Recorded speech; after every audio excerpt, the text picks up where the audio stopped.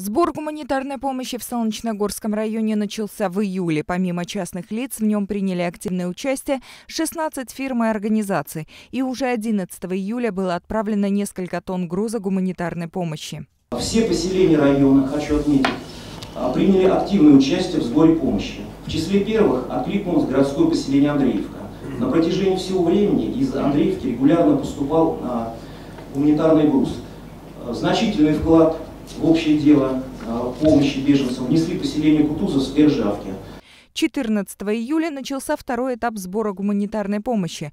На данный момент беженцы остро нуждаются в постельном белье, матрасах, подушках, средствах личной гигиены, медикаментах.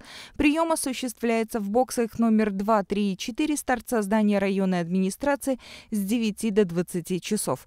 Кроме того, на предприятиях и в организациях района есть 59 рабочих мест, на которые могут быть устроены беженцы. Вопросами оформления документов статуса беженца, предоставления убежища, и разрешение на работу занимается территориальное подразделение УФМС, расположенное в Солнечногорске по адресу улица Почтовая, дом 21.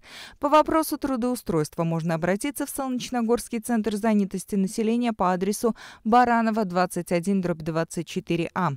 По вопросам оказания медицинской помощи беженцы могут обратиться в приемный покой Центральной районной больницы, расположенной в микрорайоне Рекинцо.